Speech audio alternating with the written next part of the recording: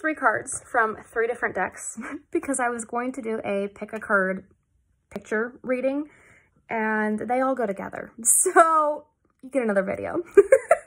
if you have been contemplating a big change in your life, maybe a change in career, a change in something, a big change, this message is for you. And the first card that came out basically says you're ready. Now is the time to make the changes that you've been contemplating. This focuses on career, but I feel like this could be any big change that you've been contemplating and you're terrified of happening. Look how happy she is there holding that beautiful, gorgeous flower. Okay, and then the next two cards that we got were Release Control and the Eagle. And the Eagle says seize opportunity opportunities courageously. So basically it's saying to Go for this.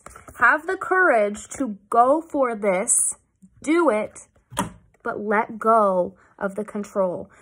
Let go of what you think the outcome should be or how you exactly think it's going to happen. For example, maybe you think that you're going to go viral on TikTok, but it ends up being YouTube, right? you still took a leap of faith. You did something you're ready to do. You had the courage to do it but it didn't happen the exact way that you thought it would.